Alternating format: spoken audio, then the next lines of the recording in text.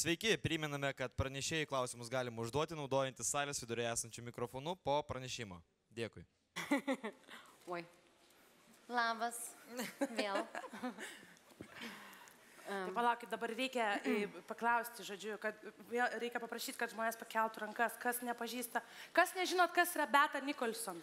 Oi, čia firminis bairis. O kas Jėgelavičiūtė, kad buvo tokių, kurie nežino, kas yra? Jėgelavičiūtė, bet kadangi Beta yra visuose namuose. Nu, nežinau, nežinau. Klausyk, Beta, tu kaip šitagi, dar viena Beta, mano draugė bet Natalija Bunkė, kur sako, Taip. atsidarai šaldytuvą ir matai mano veidą, tai tu irgi panašiai. Bet kiek kartų buvo perleista tavo pirma knyga? Nes aš žinau tą skaičių, bet aš noriu, kad tu jį pasakytum. Aš tiksliai nežinau, Aš žinau, bet tu pasakyk, aš pasakysiu, ar tu klysti. E, penkis. dabar jos kalbėsis, kuri daugiau parduoda. Nu, super. E, Daugiau. ar yra ne, neskiriančių pelną nuo pajamų, nes su jumis šiandien yra užra maldeikienė, tai Aš neskiriu. jo. Tai Agnė sakė, davai nedarom skandalų, bet vienas vis tiek gavosi. Miss Sheep į- įrado naują auką. Monika Šalčiūtė. Gerai, jeigu rimtai, tai nelabai yra apie ką diskutuoti ir visi atėjo ne į tą salę, nes iš tikrųjų internetą valdo moteris. Ir, ir nė- nėra kaip prieiti prie šitos išvados, nes čia tiesiog faktas. Mm, Bet, um, bet mes pasikalbėsim su merginom. Tai jeigu rimtai, kojų apšilimui, jeigu rimtai, tai pradėkim kaip visi tvarkingi normalūs žmonės. Aš noriu, kad jūs paplotumėt e, normalioms boboms. Beta Nikolson, e, Agnė Gelavičiūtė ir Aušra Maldeikienė. Jūs visi žinot, kas yra šitos moteris, jūs jas sekat. Davilė Filmanovičiūtė, Miss Sheep. Sekit mane Facebook'e. Žodžiu, e, merginos, kad pradėtume mūsų smagų popietinį pokalbį, aš noriu į- įberti pipirų pradžiai. E, Dešimtukas, apie kurį šiandien aš jau buvau užsiminus, kai mes su Agne kalbėjome, sekamiausių žmonių. Nu vien vyrai.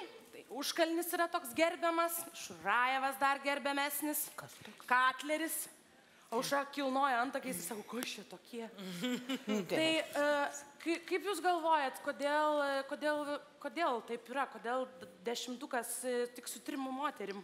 Beta, kaip tu galvoji? Aš e, net nežinau, aš kažkaip niekada tų a, dešimtukų nesekiau, nežiūrėjau. Aš pati a, rašau Facebook'e dviem kanalais, Betos virtuvė ir savo vardu, bet tiesą sakant, aš socialiniuose tinkluose esu ganėtinai nusaiki ir šiaip... a, Galvoju, pasakys neaktyvi. Neaktyvi. Ne, ne, aš esu aktyvi, bet aš visuomet man yra.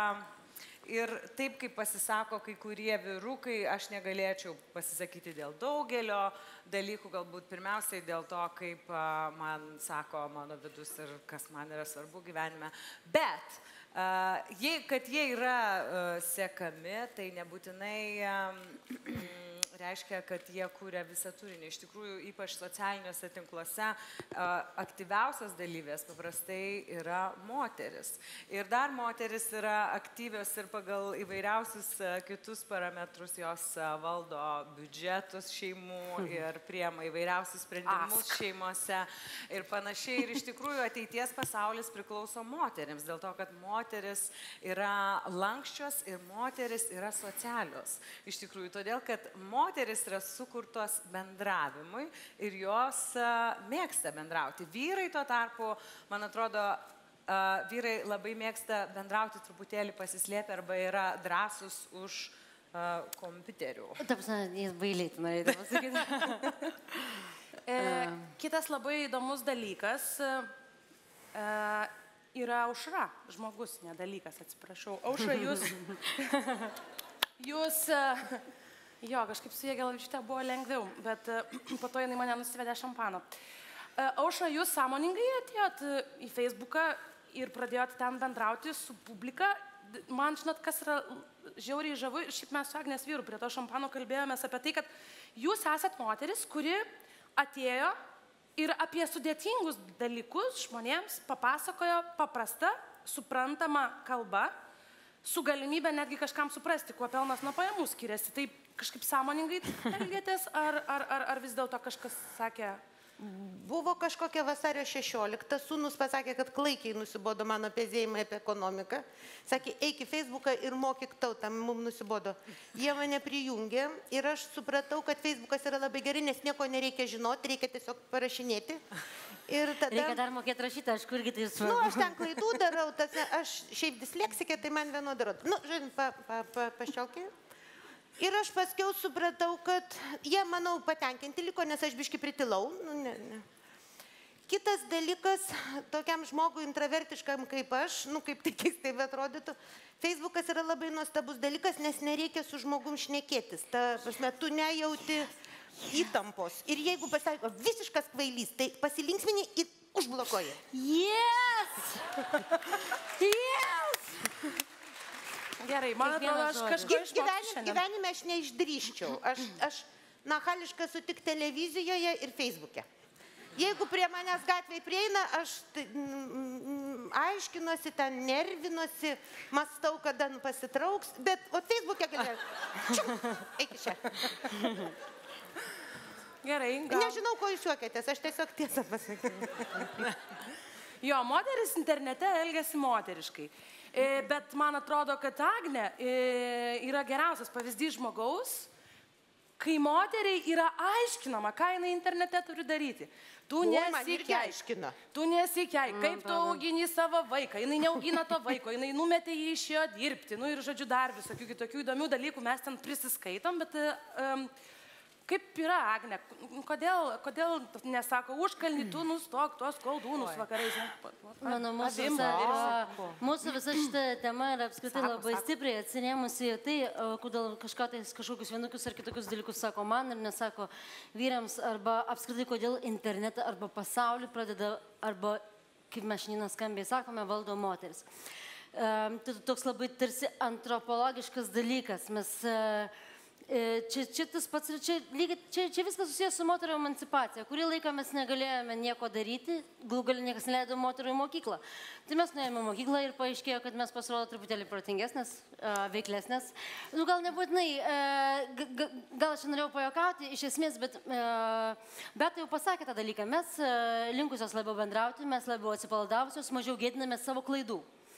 E, Todėl e, labiau e, apimame šitą visą rinką. Bet tarsi šalia viso to dalyko, kad mes galime turėti biznį, mes galime daryti ir ypatingus visokius dalykus, mes galime būti socialios ir aktyvios, mes galime generuoti didžiulės lėšas pagalbai kažkokiem žmonėm ir visai kita. Ir vis tiek mes vis dar turime atsėti išlikti tom, tokiomis kažkokiamis moterimis. Bet tai pradedant namuose, pavyzdžiui, man, man, man namuose sako, išvyktų iš to Facebooko. Apsiramink tu čia, kad čia su manim dabar šneki. Tipo, nulestų gazą. O aš visai ne tą, nu, visai, visai tai nėra kažkoks tai mano Facebooko gazas, tai yra tiesiog mano nu, žm- žmogiška esybė. Aš nesuprantu, kodėl viena, vienai kategorijai žmonių galima sakyti keiksmažodį, kitai kategorijai žmonių negalima. Kodėl viena kategorija žmonių gali dirbti, o kita negali. Tai man atrodo, čia yra tokios, tokia, tokios gyvenimiškos tiesos, kurios yra labai paprastos. Jo tai vis dar vyksta, nes seniau visuomenė priklausė vyrams, dabar taip nebėra. E, Man kažkaip, jeigu aš pradėsiu važiuoti jau tą, tuo, tuo, tuo, tą kryptim, tai jūs mane sustabdykit. E, Turiu omeny tai, kad labai, man labai sudėtinga jūs žiūrėti neprofesiškai. Aš matau jūs kaip media kanalą ir kažkaip parduot kažką labai norisi. Bet, e, bet e, e, aušra labai gerai užsiminė, kad jai vaikai sakė, eik tu motin mokyti tautos e, Ne, ne, jie ekonomikos." sakė, eik nuo mūsų atsiknysk. Ne, čia tai labai gerai Bet e, suprantu.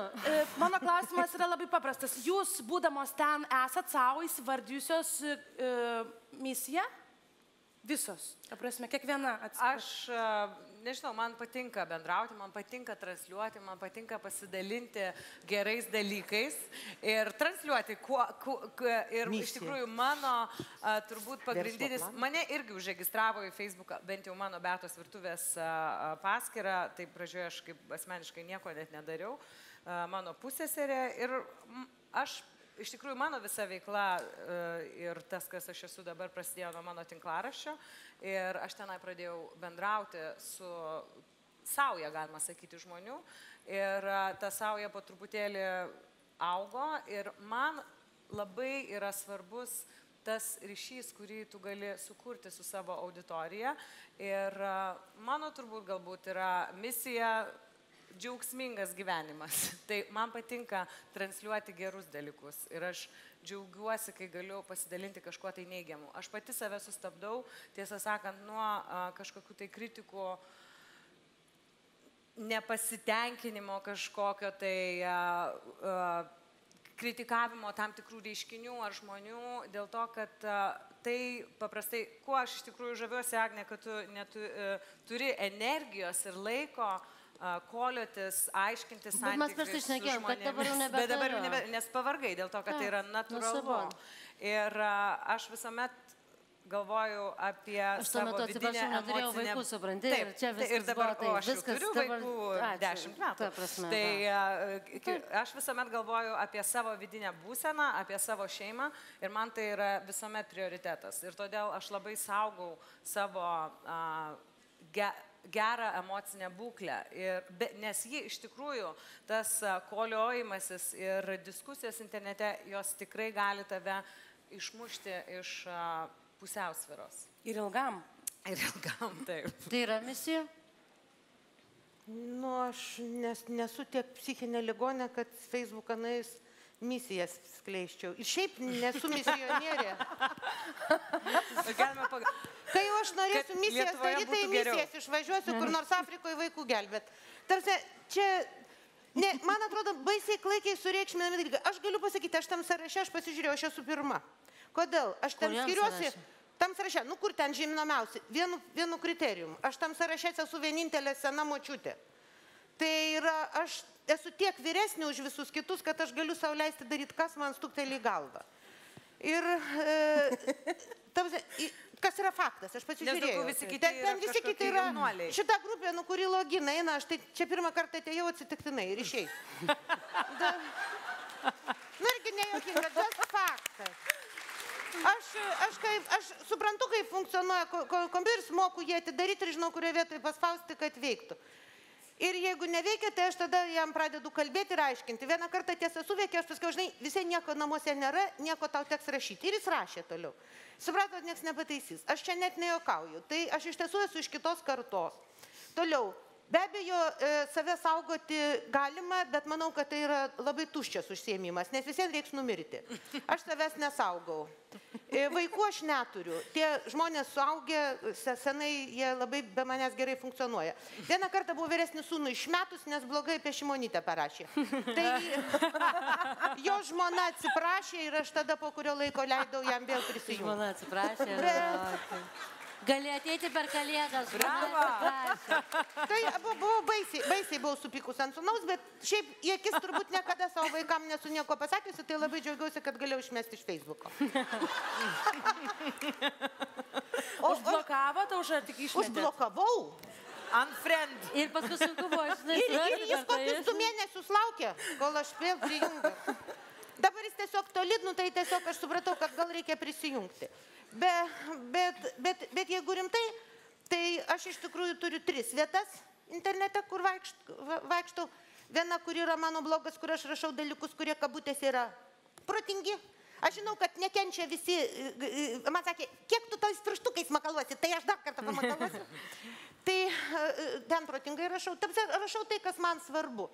To, toliau yra toks puslapis, kuris politiko puslapis, galite palaikinti, aš ten rinkėjams paaiškinsiu, kodėl jie durni. Aš iki pat rinkimų, aš juose dalyvausiu, aš aiškinsiu, kodėl jie kvaili. Kaip puslapis Jie patys yra antraščių gamintoja. Aš koks paaiškinsiu, Nu, va, kodėl jie yra durni visi. Koks puslapis? Aš, jiem- aš iš tikrųjų, aš jiems paaiškinsiu, jie patys Politiko nežino, ko puslapis, nori. tai Tai yra, nu, aš iš tikrųjų dalyvausiu politinėje kompanijoje. Nu, žiūrėkite, nu, pasisamdo vaikų darželio auklėtinių iš kokių nors gudelių ir panašių gudžių firmų. Ir tie išneša tokias pusvidurinio veidą, sako, aš padarysiu tave laimingą. Ir eina visi ir balsuoja. Tai kokio kvailumo turi būti žmogus, kad už tokį šūkį balsuot. Tai aš va tiems ir paaiškinsiu, už ką jie balsuoja ir ką jie gauna. E, nu, rezultatas man zin, aš dar kartą kartu aš sena. Ir yra tokia vieta, kur aš iš tikrųjų gerai leidžiu laiką, va tas, kur ten tie sėkėjai, nu kur jau ten. Tai galiu net pasakyti, kas man ten labiausiai patinka. Aš ten, pavyzdžiui, sužinau, ką turiu veikti gyvenime. Prieš dvi dienas viena moteris man parašė, kad galų gale susiradai darbą, kuris tavęs verta. Tai yra melžti karvės, o tai visą laiką kalbi. Nors prieš tai buvo reportažas, kaip aš sakiau, kad aš nemelšiu karvės, nes negalima karvių gazdinti ir reikia kažkaip pagarbiai su karvėmis elgtis. Tai reiškia, aš ką supratau, mane daug dalykų išmokė Facebookas. O dabar kalbu visiškai rimtai. Aš tik tai Facebook'e supratau, kaip klaikiai, tragiškai ir juodai neišsilavinus tauta. Iki tol aš vis dėlto visą gyvenimą daug, gyvenau uh, in the box. Aš tarsi įsivaizdavau aplink mane visi viską supranta ir viskas gerai. O Facebookas genialu. Dėl to, kad jisai atvėrė jums tokias auditorijas, su kuriuom... Niekada Nes mes irgi, aš taip pat gyvenu savo kažkokiam tai rate žmonių, kurie iš esmės yra tokie patys kaip Tai aš tiem žmonėms žiauriai dėkinga, ypač tiem, kuriuos išmetu. Jie, aš prieš išmetant visada mane ko nors išmoko. E, Jūs aušra užkabinot e, nu, labai gerą aspektą. Šiaip visi galite palaikinti mano puslapį kodletai. Tikiuosi šį vakarą atsiimti apdovanojimą. Čia apie... Negausiu aš to apdovanojimo. Žinau, beje, kas laimės vieną apdovanojimą, tai net šurpas per nugarą eina. Ateikit į loftą, viską sužinosit. Bet... em, Aha, grįžtam prie temos. Iš tikrųjų, aš kažkaip e, to su savo tais varganais 12 tūkstančių sekėjų m, m, tikrai nuoširdžiai galvoju, kad gal kažkam tai 15 metai pakruojo rajone gal kažkaip dais, kad dietos laikytis nereikia. Kad gal... Šiandien tarptautinė diena be dietų. Valio! O, pažiūrėkit, kiek normalių Tai susirinko. einam pavalgyti po to, ne? Jo, po to varom pavalgyti. Tai aš iš tikrųjų nuoširdžiai galvoju, kad gal kažkam mūsų postringadamas įkries šiek tiek košės į galvą ir kažkaip tai taip visai kitaip tie dalykai pradės suktis. Bet tada, kai tu pagalvoji apie tai, apie tą auditoriją ir tą kartą, į kurią jūs visos ir mes visos kreipiamės, iš tikrųjų pasidaro šiek tiek krūpų. Dirbti nenori, pinigų nori, e, mažiausiai, kas Daiktų norėtų būti nori. iš karto, tai pro, projektų direktorių. papų O, nori. Jo, tai kai, nu, va, jaučiat šitą, šitą bais, baisų dalyką, kad generacija Z auga ir tuoja mus Aš tik nugalatys visas. vieną dalyką galiu pasakyti, kad aš a, kartais ins- Instagram'e taip pat dalyvauju ir ten kartais neseniai ap- aptikau, nesakysiu, mergaičių tokių keletą tikrai turtingų tėvų, gražios dukros, kurios yra 18-19 metų. ką daro auksinis jaunimas. Taip, nežinau, ką jisai daro ir kai iš tikrųjų yra visur pagrindinės nuotraukos, kurios sulaukia tūkstančius palaikymų. Tai yra, aš esu graži, aš taip pat nusisukus, išpūtus taip lupas ir taip toliau. Ir aš esu viena Ir atradus, tos kur šonkaulius viso daugiausiai palaikymo. Ir aš tada galvoju, kad tos jaunos mergaitės, kurios žiūri šituos postus ir jos nori tokios būti ir jos galvoja, kad tai yra tai, ko... Todėl mes dabar gatvėse ir visur, kur matome žmonės, kurie atrodo vienodai. Ir Na. tai yra baisu ir reikia kovoti už Ne, kitokį grožį ir nepamiršti parodyti, kad galima prisimink, kitaip gyventi. Klausimas buvo, ar mes pastebim, kad vien tik blogai. Ne gal, kad vien tik blogai, bet kad iš tikrųjų dabar komunikuojat su ta karta, kuri, nu, vat, nu, žinai, čia galvok, Ne, gal negalvok, aš kad sakyčiau, kad mes gal galime paprasčiausiai ir labai uh, aiškiai įvardinti, kad šita karta tiesiog yra labai imli, negali būti nei labai bloga, nei labai gera. Na, ir tai yra tiesiog yra, e, tai tiesiog, taip, socialiniai tinklai, Instagramas ir panašiai labai stipriai įtakoja tų žmonių gyvenimą. Uh, bet jie lygiai taip pat kiek imlus uh, tiem visiems uh, neteisingiams dalykams, kas mums atrodo suaugusiams moteriams neteisinga. Jie taip pat imlus ir tai teisi, teis, teisingam dalykui. Tai turbūt mes visos truputėlį apie tai kiekvieną akimirką susimastome. Aušra savo srityje, kuris susijusi daugiau su valstybės valdymu ir tai yra be galo svarbu, ne? Bet aš švelnume, aš tokiam grubiam aiškinime, kad blemba tai yra labai negražu ar ten dar kažką. Bet mes visos iš tikrųjų tam tikrą prasme taikome į tą patį. Į tai, kad tie vaikai, kurie turi galimybę, ne, bet kai aš sakau vaikai, tai aš, žiūrėkit, vis tiek tikiu, kad Facebook'e ir, ir visur kitur turi būti žmonės nuo 16-18 metų. Tai Taip, aš, kitaip, aš niekada nesuprantu, kodėl jūs leidžiate savo vaikus anksčiau į Facebook. Nu, aš galiu pasakyti vieną kartą knygų mugėje tiesa prie manęs prie berniukas, paskui aš aš nuo 12 metų. Ir sako, aš norėčiau jūsų autografo. Bet knygų mugė tai ok. Nu, bet tarsi, aš jam kažkaip sakau, nu, kam, tu, nu, kam tau, tipo, ką, ką tu sudarysi, aš gal kokiu Jo. tikslu. Ir jis pasirodo skaitęs melo ekonomiką ir jis man viską ten paaiškino. tai su vaikais ir aš taip stovėjau ir taip, mano reakcija buvo, apskai, aš neturėjau ką pasakyti. Dabar jokio jaunimo, kuris išsiminė šonkaulius, kad būtų lieknas, aš nepažįstu. Tos, kurios... to, nepavyzdžiui.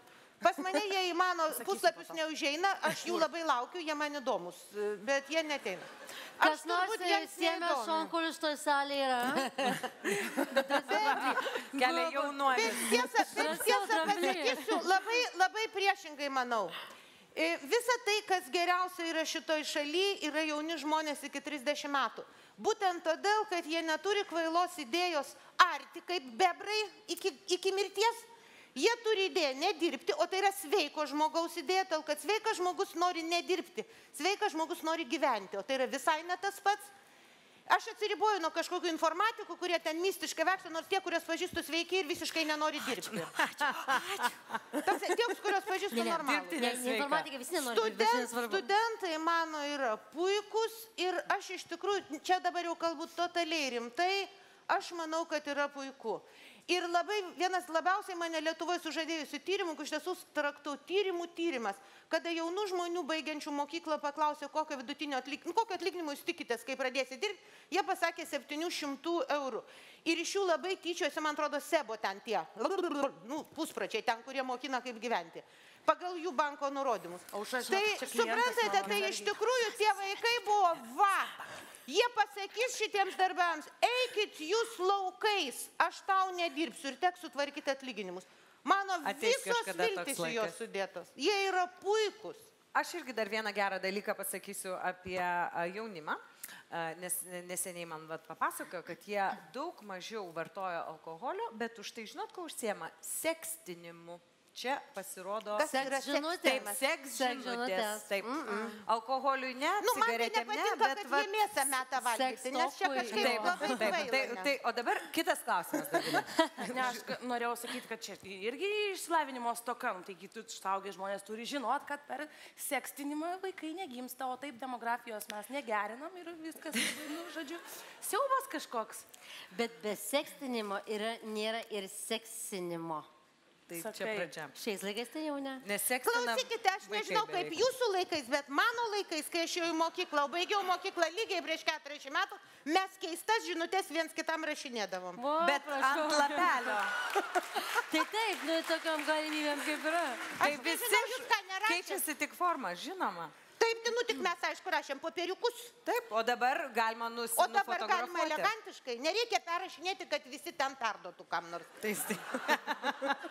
galima paskelbti visiems. Ne, aušra, mes jūs po diskusijos išmokysim naudoti Snapchatų, ten žinokit, Aš gal... turiu, aš turiu. Tikrai?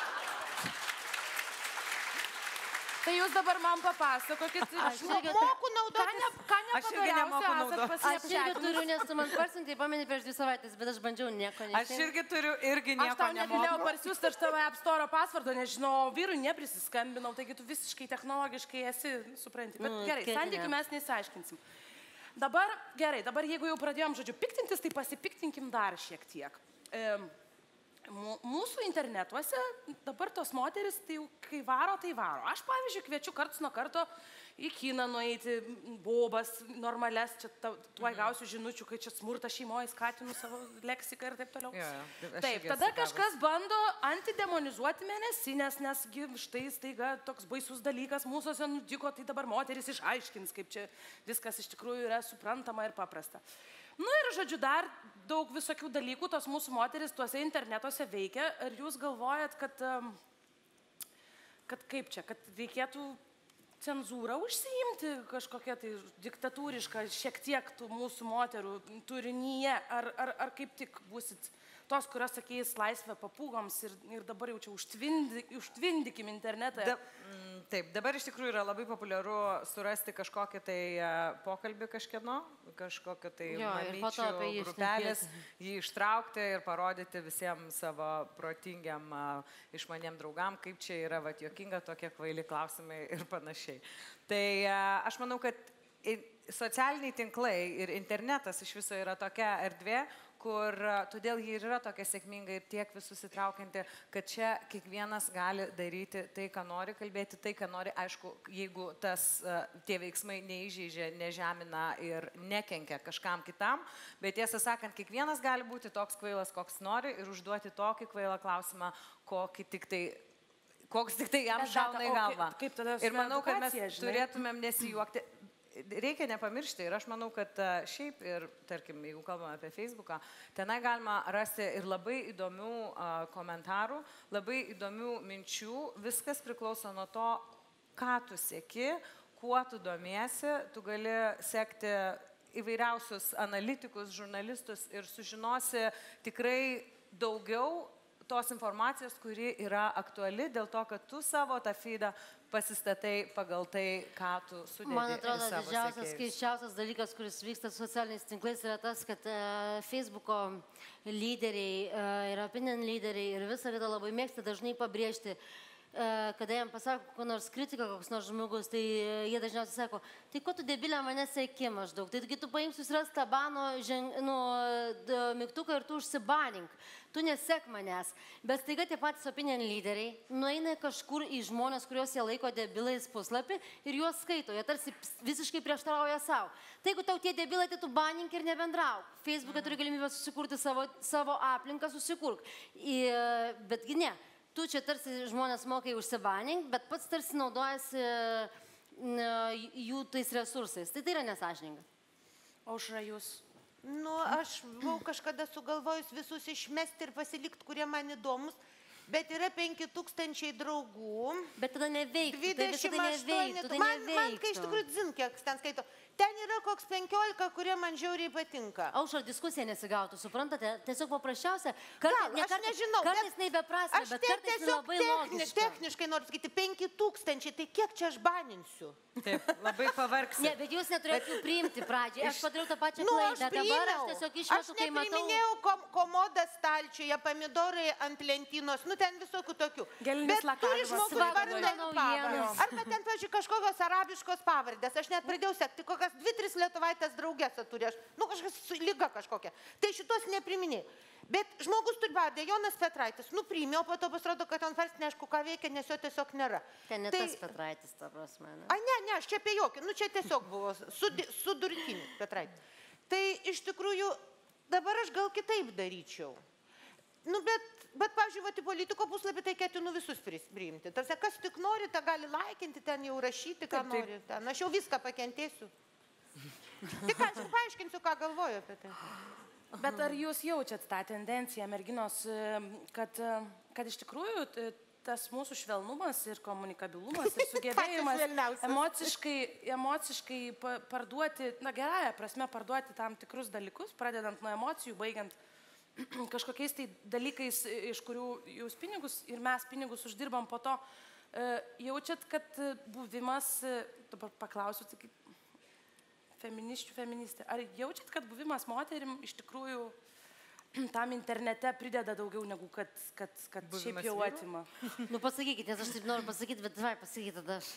Aš tik tiek galiu pasakyti, kad iš tikrųjų didesnė dalis, ryškiai didesnė dalis mano sėkėjų yra vyrai, dažniausiai jauni, iki 30 metų. Tarsi, tai yra mano tikslinė auditorija, nežinau iš kur jinai atsirado, bet jinai iš tikrųjų realiai yra tokia. Ir tie, kurie rašo geriausius komentarus, yra iki 35 metų dažniausiai vyrai. Arba panašaus amžiaus kaip aš moteris, bet dažniausiai jų komentarai man patinka, todėl kad tai yra, na, tiesiog, nu, e, tam tikro amžiaus tarpsnio, nu, jau mąstymo kampas. I, i, taip iš tikrųjų, bet, bet man tai, nu, vienodai rodo. Nu, čia- Prašau, Agne. Man Tai tie jauni vyrai norėčiau- niekaip nedomina Jo. jokia kita forma. Man uh, iš tikrųjų viskas labai daug paprasčiau, nes aš taip labai nuoširdžiai pasakysiu, aš niekada gyvenime nesu supratus, kad aš esu moteris, taip atvirai. Vat aš irgi gal. Aš niekada negalvojau, kad aš esu kažkokia moteris, ar aš kažkokia, arba labai dažnai man sako, bobas su kiaušais, tipo dėdas.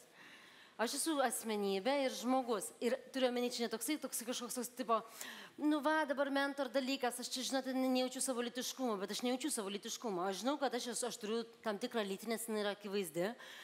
Gal net per mano drabužius, bet kai aš juos nusirengiu, jin vis dėlto egzistuoja. Ir, bet e, jeigu išvertinti save kaip asmenį, tai aš niekada negalvoju, kad, na štai aš moteris, dėl to man tas pats galima, arba, na štai aš moteris, dėl to man tas pats negalima. Aš visą gyvenimą dariau dalykus, kuriuos reikia daryti, o ne tuos, kurie skirti moteriams.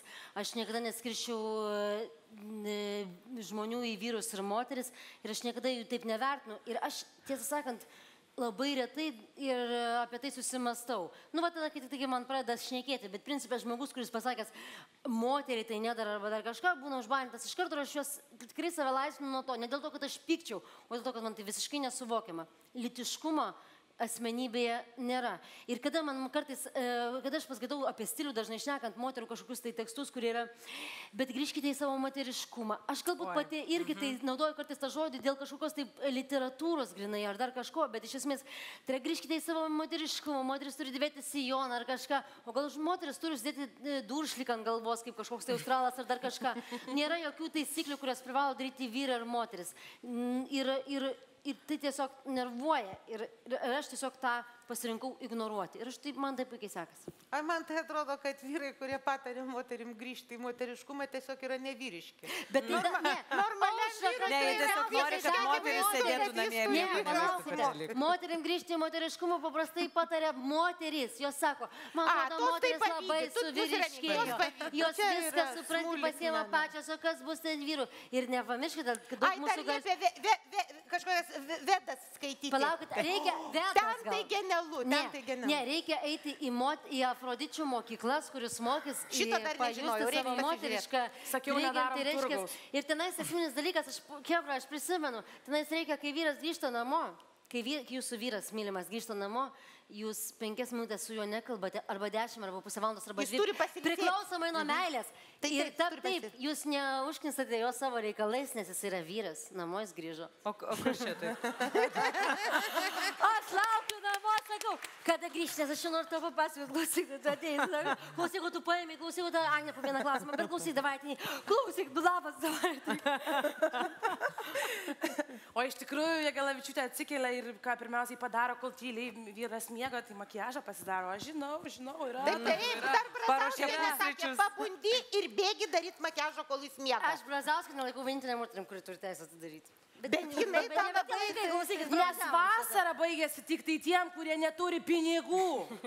Ai, čia jinai taip sakė? Taip sakė. Bet kokia Jūs gera. nuklydote, jūs nuklydote, moteris.